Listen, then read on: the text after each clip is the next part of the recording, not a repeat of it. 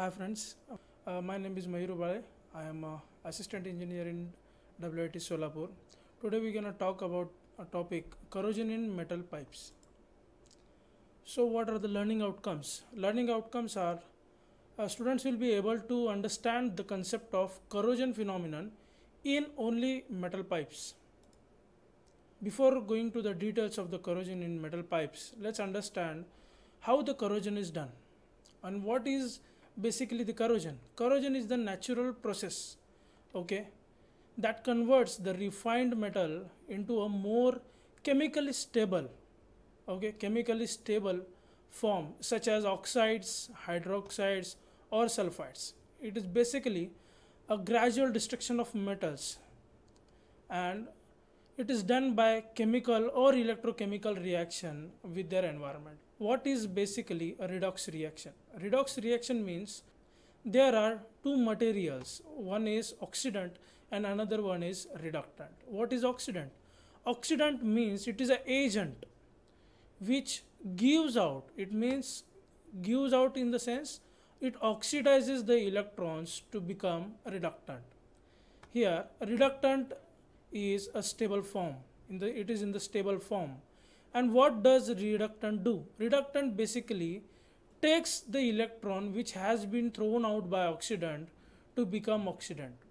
But here the formed oxidant is a stable material. It means after the reactions or after the oxidation and reduction both the materials become stable and the corrosion happens so this redox reaction is happening both ways. It is in the form of oxidation and reduction simultaneously.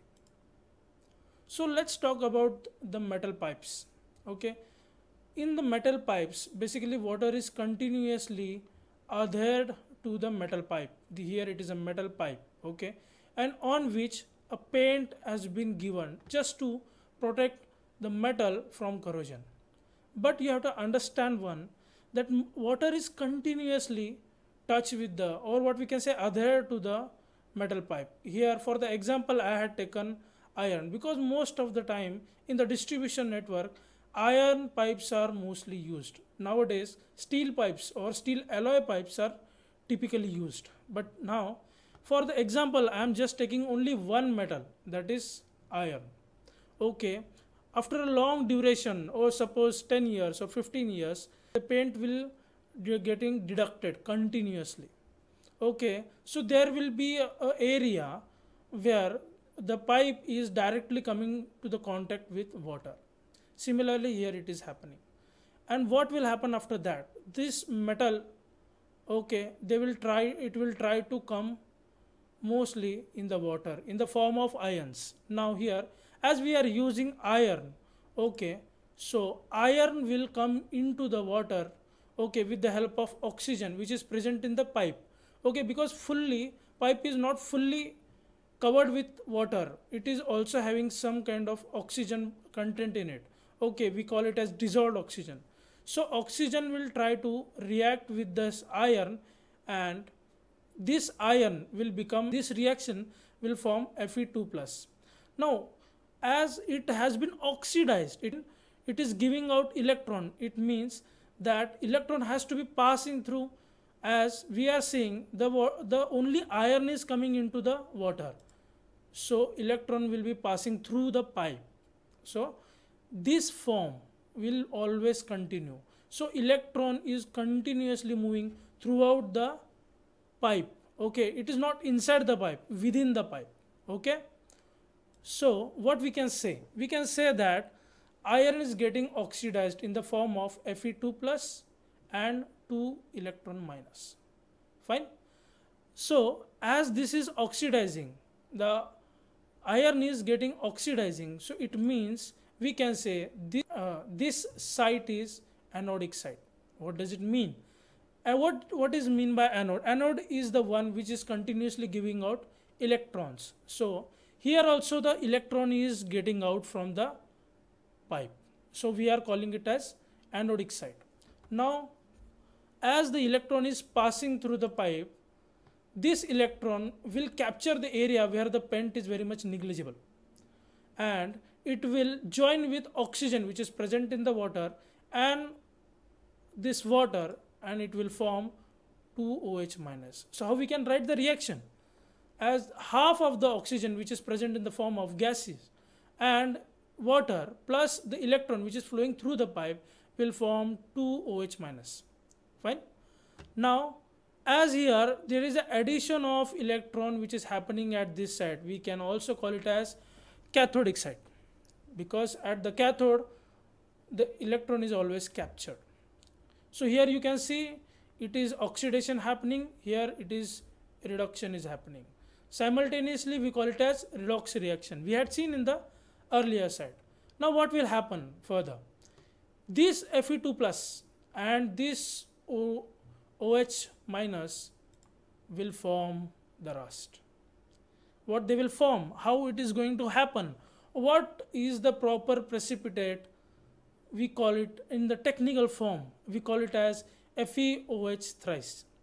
That is ferric hydroxide it is mostly insoluble impermeable precipitate but at the initial stage when the rusting is continuously going on it will form on the layer of pipe. But at that time automatically this cathodic cell uh, this cathodic site is also getting covered with the rust. So there are chances then redox reaction is going to dampen. But this rust the initial rust is not too much impermeable it is mostly permeable so it will give out lot of cathodic sites therefore the redox reaction is not going to stop so here the continuously rusting going on for a longer longer period and the pipe gonna disturb. Now let's see about the chemistry. We had seen here the Fe2 plus and 2OH minus is forming FeOH twice which is ferrous hydroxide. Now let's talk about the two conditions. This, ferrous, this ferrous hydroxide is not the rust, it is not a proper rust. It has to go for the further reactions. Okay, uh, let's talk about two conditions. One is the condition where water is alkaline and it is free from carbon dioxide. At that time, what will happen? This ferrous hydroxide, which is formed around the perimeter of pipe, will react with the oxygen which is present in the water and they it will try to form FeOH thrice. It is 2 FeOH thrice and it is ferric hydroxide.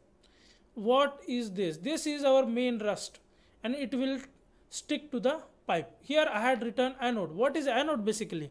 Anode is the area around which the rust is going to form. It is not going to form at the cathodic side, okay? Because at that point only the Fe2 plus is continuously going out. So we can also say that it will continuously stick to only anode part. Now what is the second condition? Second condition is the water is acidic and it, it, it is containing the free carbon dioxide. Now what will happen? This free carbon dioxide will react with the ferrous hydroxide and it is present in the water and what will form ferrous bicarbonate react with the oxygen which is present in the water and some H plus ions. The water is acidic. It means it is having lot of H plus ions. So there are lot of formation of H2 gas also. And whole this combines to form FeOH thrice. Okay? And what will happen? It will get uh, stick to the anode. And it will throw out carbon dioxide. Now let's coming to the point of technical words because rust is a very common word now let's understand the first here the deposit of insoluble red red precipitate that is our ferric hydroxide is formed into in the interior pipe surface we call it as tuberculates which is another name of rust and this process is called as tuberculation. It will happen when there is a higher roughness in the pipe. To this roughness of the pipe, what will happen? The head loss will increase. And what will happen due to that? There will be a creation of pressure.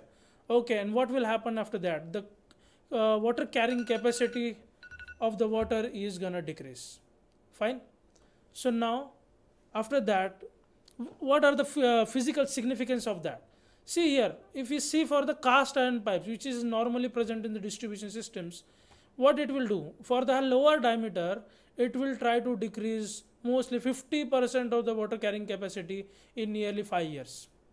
so it's a huge risk and you have to think about the corrosion or technically what we say tuberculation in the pipes. So how we can do that? Normally it is cleaned and it is lined with other materials in the interior part so that there will be a very there will be a stoppage of corrosion or there will be a decrease in the formation of corrosion. So let's see about the wet electrochemical corrosion. Of iron we are using alloy okay so if in the alloy how the corrosion is going to happen? There are electrochemical series in which a different metals react with water to form compounds. So here if you see i am using copper and steel alloy. And if i put in the water because these both are adhered to the water what will happen? As the steel or the iron is too much higher electrochemical than copper. What will happen? The iron will come into the water and it will take the OH minus from this cathodic side or what we can say from the copper which is present in the form of alloy and the first iron will try to decay or what we can say it is try to form the tuberculates. What does it mean? It means that in the alloy whatever the whatever the metal which is higher electrochemical will rust but not the other one. Okay so corrosion is going to happen in the alloys too. So what are the examples? If you see in the fittings because in the fittings we are not using the same metal. Okay if we are using the iron pipe we are not using the caps or fittings of the iron but we are using the different. And these fittings are also adhered to the inside water. So this iron pipes is gonna rest but the fittings or here you can say the fitting is not going to rust but the pipe is going to rust fast this is one another example of fitting it here you can see these fittings are also getting corroded but different questions on which we can resolve more okay the first question is corrosion of steel is always relatively lesser than iron true or false second one is corrosion dependent on leakage in the metal pipe or pH of water or conductivity of underground soil or all of the above. Okay. And the third one is in the corrosion process metal pipe behaves as anode or cathode. So this is the answer for the first. It is always true. Second one is corrosion is dependent on pH of water, leakage and conductivity of underground soil. And the third one is in the corrosion process metal pipe behaves as anode. Okay. So these are the references I had studied and made this PPT. Thank you.